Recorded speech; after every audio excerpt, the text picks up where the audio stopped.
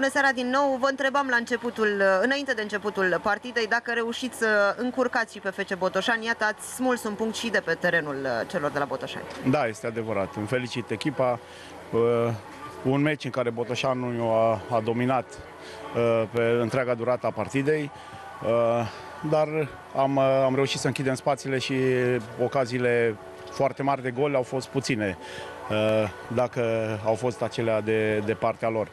Uh, În același timp, am avut și noi situații în care am surprins pe atacuri rapide, dar nu am știut să, să gestionăm pasa finală sau uh, luarea deciziei pentru execuția finală și am păcătuit în, uh, în, acest, în acest fel. Dar nu, nu am fi meritat după aspectul jocului să plecăm de aici cu, cu o victorie.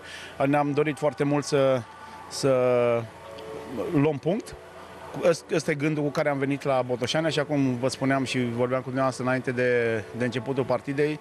Ne dorim să facem cât de multe puncte putem din aceste ultimele trei partide. Am reușit în acest joc, ne mai așteaptă două meciuri la fel de, de, de dificile, cu uh, Craiova și apoi deplasare la Arad, din care sperăm să, să luăm ce putem. În momentul de față ne-am atins un, un, un obiectiv intermediar, acela de 29 de puncte, cu cât ne-am propus să, să intrăm în, în a doua parte a campionatului sau într-un nou campionat. Vă oferă mai multă liniște jocul echipei din ultimele etape?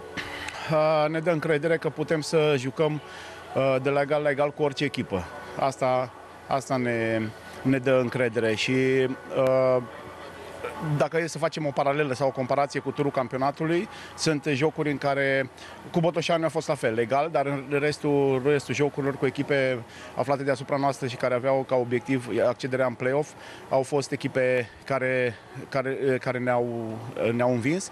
Acum în retur am reușit să luăm puncte importante și asta ne dă încredere. E un progres față de tur. Asta e ceea ce, ce putem să spunem la final. Încă se joacă pentru play-off. Pe cine ați prefera să aveți în play-out dintre cele trei care au mai rămas să joace câte o carte?